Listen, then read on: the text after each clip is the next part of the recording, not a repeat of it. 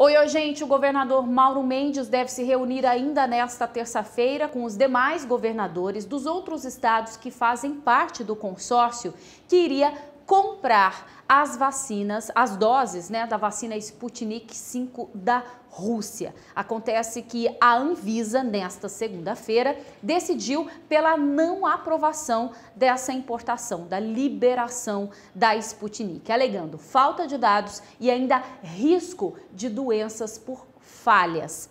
Bom, nós estamos em abril.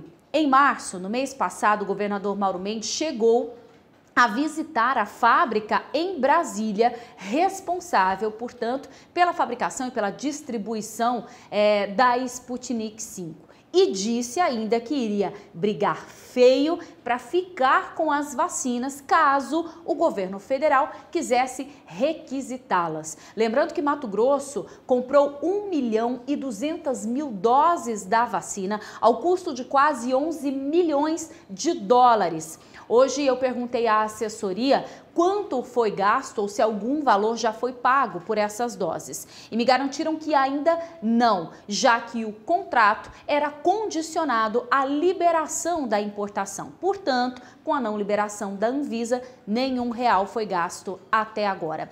Mas ainda falta a decisão desse consórcio de governadores que deve sair nesta terça-feira. A gente fica por aqui aguardando uma manifestação, um posicionamento tanto do governador Mauro Mendes quanto dos demais governadores dos outros estados que fazem parte desse consórcio. E você sabe, para ficar bem informado, é só dar o play na notícia.